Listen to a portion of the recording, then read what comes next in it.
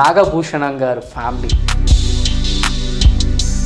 కొంచెం అలా పెన్నుతో మీసాలు పెడితే నాన్నగారిని చూసినట్టే ఉంది. జెరాక్స్ కాపీ కూడా అనకూడదు ఒరిజినలే అనాలి. అలాగా అలాగా అనేసి. అలా పునికి పుచ్చుకున్నారు ఆయన పుట్టుకని. అదృష్టంగా భావిస్తుంటారా? అంటారు కదండి జనరల్గా తండ్రి పోలికలు అమ్మాయికి వస్తే మంచిది. నాన్నగారు ఫీల్ అవుతుంటారు హ్యాపీగా చాలా అండి చాలా.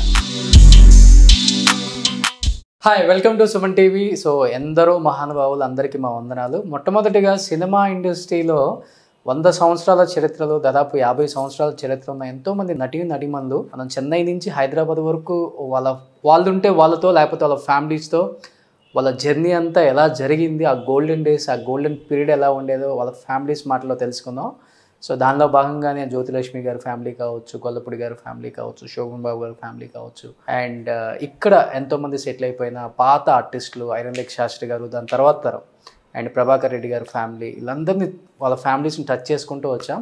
దానిలో భాగంగానే ప్రజెంట్ మనం ద వర్స్టైల్ యాక్టర్ నాగభూషణం గారు ఫ్యామిలీ వాళ్ళ కూతురు అల్లుడు మనతో పాటు ఉన్నారు. అండ్ నాన్నగారు పడ్డ కష్టం అండ్ వాళ్ళ మామగారు పడ్డ కష్టం ఇండస్ట్రీలో ఆయన సాధించిన అచీవ్మెంట్స్ ఆయన పడ్డ కష్టాలు వాళ్ళిద్దరి మాటల్లో తెలుసుకుందాం. నమస్కారం అమ్మా. నమస్తే నాయన. నమస్కారం మీరు గారు. ఎలా ఉన్నారు? సో ఫస్ట్ ఆఫ్ ఆల్ మిమ్మల్ని చూస్తుంటే కొంచెం అలా పెన్నుతో మీసాలు పెడితే నాన్నగారిని చూసినట్టే ఉంది. జెరాక్స్ కూడా కాదు ఇంకా. జెరాక్స్ కాపీ కూడా అనకూడదు. ఒరిజినలే అనాలి. అలాగా అలాగా అనేసి. ఓకే. అలా పునికి పుచ్చుకున్నారు ఆయన పుట్టుకని. ఆ. అదృష్టంగా భావిస్తుంటారా?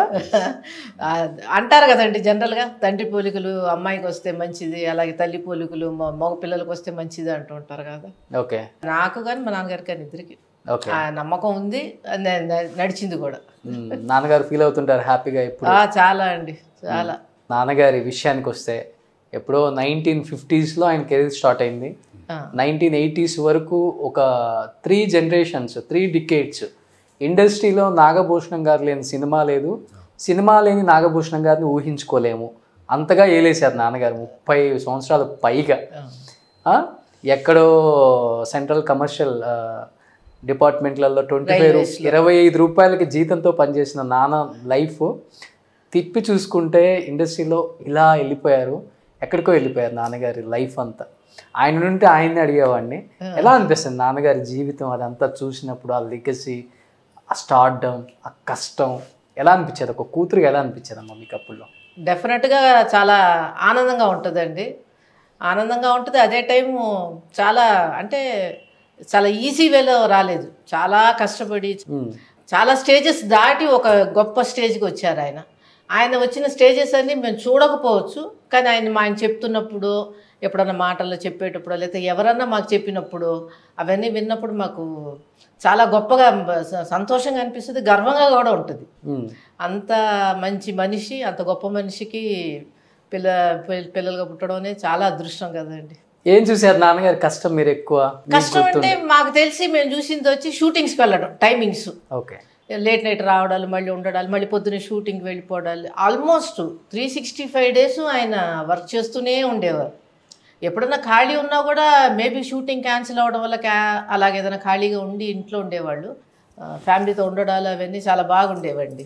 బయట బయటకి ఎక్కడికి వెళ్ళేవారు కదా ఆయన. బయటకు వెళ్ళడాలు పార్టీసు లేదంటే అప్పట్లో బాగా అందరూ క్లబ్బులకి వెళ్ళేవారండి. అందరూ అందరు ఆర్టిస్ట్ సరదాగా వెళ్ళేవారు ఆడుకోవడానికి వెళ్ళేవారు. ఏ క్లబ్బులకు కానీ రేసులకు కానీ దేని అవన్నీ ఏం వెళ్ళేవారు కాదు. నాన్నగారు వేటికి వెళ్ళేవారు కాదు. ఫంక్షన్స్ ఎవరన్నా ఫ్యామిలీ ఫంక్షన్స్ అలాంటివి అయితే కంపల్సరీ అటెండ్ చేస్తారు. ఓకే. ఇంకా ఆర్టిస్టులది కానీ మీడియాలో కానీ ఎవరిదన్నా ఫంక్షన్స్ అంటే మటుకు జస్ట్ ఆ టైంకి వెళ్ళి ఒక ఫైవ్ మినిట్స్ పిలిచారు కాబట్టి కంపల్సరీ వెళ్తారు. ఒక ఫైవ్ మినిట్స్ అక్కడ ఉండి ఇంటికి వచ్చేసేవారు. ఎంత లేటుగా షూటింగ్ నుంచి వచ్చినా కూడా లేచేవాళ్ళం ఆయన దగ్గర కాసేపు కూర్చునేవాళ్ళం పలకరించేవాళ్ళం మాట్లాడేవాళ్ళం. నైట్స్లో మటుకు నాకు టెన్ లెవెన్ ఇయర్స్ వచ్చినప్పటి నుంచి మటుకు కుకింగ్ మా అమ్మగారే చేసేవారు. బట్ దగ్గరుండి భోజనం పెట్టడం అదంతా నేనే చూసుకునేదాన్ని. ఓకే. ఎంత లేట్ అయినా రెండింటికి రేవు వచ్చినా సరే లేపేవారు నేనే లేచేదాన్ని. లేచి ఆయనకి భోజనం పెట్టి మాట్లాడి ఇట్లా తర్వాత వెళ్ళి పడుకునేదాన్ని. చూశారు. ఆయన ఎలా కష్టపడ్డారని తర్వాత తెలుసుకున్నాం. ఆయన ఎలాగా స్టేజ్కి అంత స్టేజ్కి ఎలా రాగలిగారు అనేది తర్వాత మాటల ద్వారా ఆయన చెప్పిన విషయాలు అలా తెలిసింది కానీ మాకు తెలిసినంత వరకు ఆయన బిజీ షెడ్యూల్ బిజీగానే ఉండి అంతా చేసేవారు. అయినా కూడా ఫ్యామిలీతో అంతే టైం స్పెండ్ చేసేవారు. దాదాపు ఐదు వందల పైగా చిత్రాల్లో చేశారు. ఆ రోజుల్లో మీరు ఇండస్ట్రీలో మీరు ఆల్రెడీ ఉన్నారు కాబట్టి మీకు చెప్పనక్కర్లేదు సార్. సో ఒక సినిమాలో నాగభూషణం గారు లేకపోతే ఆ సినిమాను ఊహించుకోలేం ఆ రోజుల్లో. సో అలాంటి సినిమాలు చేశారు అలా మెప్పించారు. మనందరినీ థియేటర్లో కూర్చుంటే ఈ- ఈ సెటప్ని చూడలేకపోతే ఉండలేం. నాగభూషణం గారు కోళ్ళపూడి గారు ప్రభాకర్ రెడ్డి గారు పద్మనాభం గారు వీళ్ళందరినీ అలా చూస్తూ పెరిగారు. ఇండస్ట్రీలో చాలామంది టెక్నీషియన్స్ ఆర్టిస్టులు కూడా? ఎలా అనిపించేది? అంటే మామగారు అయిన తర్వాత కూడా మీరు ఆ ఫ్యామిలీలో ఉన్నారు కాబట్టి ఆయన లెగసీ గురించి చెప్తున్నప్పుడు కానీ ఆయన పడ్డ కష్టం గురించి చెప్తూ ఉన్నప్పుడు కానీ ఇప్పుడంటే కా ఈ విలనిజంని కామెడీ ట్రెండ్ అని చెప్పేసి ఇప్పుడు చెప్తున్నారు.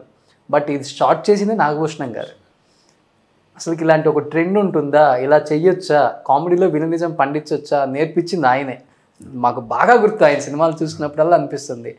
ఇదేంట్రో బాబు కామెడీలో విలనిజం ఇంత బాగా పండిస్తున్నాడు అనా అనిపించేది. మీకు ఎలా అనిపించేది సార్? అంటే చాలా గొప్ప విషయం కదా. ఇప్పుడు అంత పెద్ద ఆర్టిస్ట్ ఆ రోజుల్లో ఆయన చూస్తుంటే భయం వేసేది నాకు. అంటే నేను వీళ్ళతో ఈవిడతో లవ్లో ఉన్నప్పుడు అప్పుడు ఆయన ఎప్పుడు కలిసింది లేదు నేను. అంటే భయం అనమాట ఇంటికి వచ్చి పోతున్నప్పుడల్లా. ఓకే. మాకు మ్యారేజ్ ఫిక్స్ అవుతున్నప్పుడు దానికి ముందు ఆయన నన్ను ఒకసారి పిలిపించి క్రాస్ ఎగ్జామిన్ చేశారు. నాకు ఆయనతో కంటే కూడా మా అత్తగారు సీత గారితో ఎక్కువ అనుబంధం నాకు. ఆవిడ నాకు మరో తల్లి లాంటిది. ఓకే. సో ఆయన నన్ను ఫస్ట్ టైం పిలిపించి క్రాస్ ఎగ్జామిన్ చేసి నువ్వు వీడు మా అమ్మాయికి సరిపోతాడా లేదా? అని ఆ క్రాస్ క్వశ్చనింగ్ అవి ఆ- అది తెలుసు. తర్వాత పెళ్ళైన తర్వాత అప్పుడు ఏంటంటే మీరు చెప్పినట్టు అప్పుడు ఆ ఇది చూసాం కదా ఆయన అన్ని సినిమాల్లో ఆయన ఉండటం ఆయన గొప్పతనం అవన్నీ అప్పుడు చూసాం కదా. అప్పుడు భయం టెర్రర్ అనమాట నిజంగా బయట కూడా అలాగే ఉంటారేమో విలన్ లాగా కదా. తెలియదు కదా మనకి. అప్పుడు మేము. ఇంకా చదువుకుంటున్న రోజుల్లో తెలియదు కదా. ఓకే. తర్వాత అయిన తర్వాత ఆయనతో మాట్లాడిన తర్వాత ఆయన ఆయన స్వభావం ఏంటి ఎంత మనసు ఎంత సునిస్తులు అనేది అని తెలిసింది నాకు. తర్వాత ఇక్కడికి వచ్చేసేసిన తర్వాత ఆయన ఇక్కడ షిఫ్ట్ అయిపోయారు. షిఫ్ట్ అయిపోయి ఇక్కడికి వచ్చిన తర్వాత మేము అప్పుడు బాగా మాకు పరిచయం నాకు మా మామగారికి బాగా దగ్గరగా అనుబంధం ఉండేది. దాంతో ఆయన నేను ఒక సీరియల్ చేశాను నా దూరదర్శన్కి హాస్యవల్లరి అల్లరి అని. అందులో ఆయన ప్రధాన పాత్ర వేశారన్నమాట. సీరియల్లో యాక్ట్ చేయడం ఆయన అదే లాస్ట్ ఫస్ట్ అండ్ లాస్ట్ ఆయన. ఆయన బాబుమోహన్ గారు ధర్మరావు సుబ్రహ్మణ్యం గారు వీళ్ళందరూ యాక్ట్ చేశారు. అందులో ఆయన యాక్ట్ చేశారు. యాక్ట్ చేసినప్పుడు ఆయన నేను దగ్గరగా నేనే కెమెరామెన్ డైరెక్టర్ కాబట్టి దగ్గరగా ఉండి ఆయన ఎలా యాక్ట్ చేస్తారు ఎంత ఇన్వాల్వ్ అవుతారు అప్పటికి కూడా ఆ ఏజ్లో కూడా అప్పటికే ఆయనకి seventy five seventy six years అది ఉంది నేను అప్పటికి ఎంత ఇన్వాల్వ్ అయ్యి చేస్తారు ఆయన అది కూడా మేము మొత్తం నైట్ ఎఫెక్ట్ చేసాం అది. సారథి స్టూడియోలో మొత్తం నైట్స్లో. ఫుల్ చలి అన్నమాట. ఆ చలిలో ఆయన ఊరికే ఒక చొక్కా మామూలు కబ్బా లాంటిది వేసుకొని పంచి కట్టుకున్న క్యారెక్టర్ అది. ఆ చలిలో ఆయన దాన్ని కూడా కేర్ చేయకుండా ఎంత అయ్యి యాక్ట్ చేశారనేది అప్పుడు ఎవరు ఊరికే పెద్దవాళ్ళు అయిపోరు కదా. ఆర్టిస్ట్ అంటే ఏదో గాలివాటంకి వచ్చారు కదా. ఆ కమిట్మెంటు ఆ డెడికేషను అవన్నీ ఉంటేనే వస్తారు. సో అంత కమిటెడ్ అంత డెడికేటెడ్గా ఆ ఏజ్లో కూడా ఆయన చేశారు అనమాట seventy two years seventy two years 72 seventy two years అప్పుడు కూడా ఆ ఏజ్లో అంత ఇదిగా నైట్ ఎఫెక్ట్స్లో చేయటం ఫుల్ నైట్స్ ఉమ్. చాలా అప్పుడు మనకి హైదరాబాద్లో సైక్లోన్ ఉండింది. ఓకే. సైక్లోన్ నుండి బాగా చల్లటి ఈదురుగాలులు అనమాట సారథి స్టూడియోలోనే చేసాం అవుట్డోర్. ఏదో బస్సు ఆగుతుంది బస్సులోంచి దిగడాలు అలాంటి షార్ట్స్ అందుకని సారథి స్టూడియోలోనే పెట్టాం. బాబు మోహన్ గారు కూడా నైట్ ఎఫెక్ట్లో ఆయన వచ్చి ఆయన వచ్చి ఆయనకి ఆయన మీద ఉన్న గౌరవంతో ఆ, మా మామగారు ఉన్న గౌరవంతో బాబు గారు అప్పుడు చాలా బిజీ. నాలుగు ఐదు షిఫ్ట్లు ఒక రోజు చేస్తున్నాడు ఆయన. అంత బిజీ ఆయన.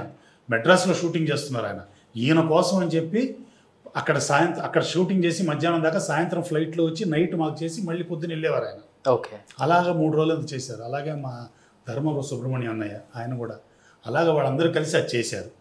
ఆ తర్వాత మా మామగారిది ఏంటంటే మా బావమరిది ఈయనది ఎక్కడ ఒక ఇది లేదు ఒక వీడియో లేదు మా నాన్నగారిది అని చెప్పి తను దగ్గరుండి ఆయన్ని కొన్ని కొంత వీడియో తీశారనమాట ఆయన చెప్తుంటే ఆయన మనోభావాలు ఆయన నాటకాలు ఎట్లా చేశారు ఆయన ఎలా సినిమాల్లోకి వచ్చారు ఇవన్నీ ఆయన చెప్పారనమాట బయోగ్రఫీ లాగా మా బావమరిది తీశాడు క్లిప్పింగ్స్ అందరి తీసుకొని అలాగే కొన్ని క్లిప్పింగ్స్ కూడా తీసుకొని దాన్ని అంతా ఒక ప్రోగ్రామ్ చేశాను నేను.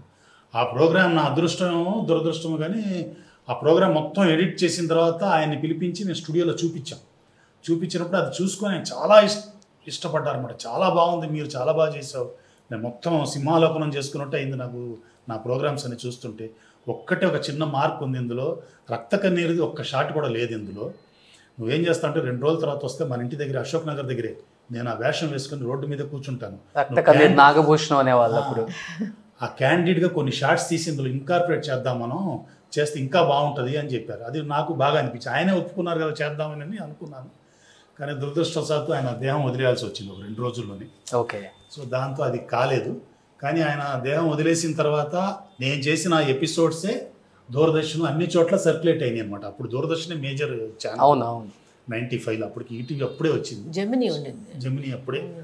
జమినీ ఈటీవీ అప్పుడే వచ్చాయి. ఈటీవీ అప్పుడు- సో అందులో అదే ఎక్కువగా సర్క్యులేట్ అయింది అన్నమాట. అలాగా ఆయన లెగసీ అని నేను చదువుకుంటున్నప్పుడు అప్పుడు చూశాను తప్ప ఆయనతో దగ్గర అనుబంధం అనేది ఇక్కడికి వచ్చిన తర్వాత నాకు ఆయన అల్లుడైన తర్వాత. అల్లుడయ్యి హైదరాబాద్ షిఫ్ట్ అయిన తర్వాత. ఇక మాకు కొంచెం ఆయన మా ఇంటికి రావటం వెళ్ళటం బాగా మాతో క్లోజ్ క్లోజ్గా ఉండటం. ఆయనకి ఏదో కూర చాలా ఇష్టం. ఒక నేను ఒక రెస్టారెంట్లో ఒక ఆ రోజుల్లో ఒక కూర తెచ్చుకొని తినేవాడిని నేను. ఆ కూర ఆయనకు కూడా బాగా నచ్చి దాని పేరు కూడా నా పేరే పెట్టాడు ఆయన. మీర్ కూర అని. మావిడికి ఫోన్ చేసి ఆ మీర్ కూర ఒకసారి పంపించు అంటుండేవాడు. ఓకే. సో అలాగా అంత చాలా చాలా మంచి మంచి మనసున్న మనిషి. ఓకే. చాలా మంచి ఆయన. థ్యాంక్ యూ థ్యాంక్ యూ ఇద్దరికి థ్యాంక్ యూ థ్యాంక్ యూ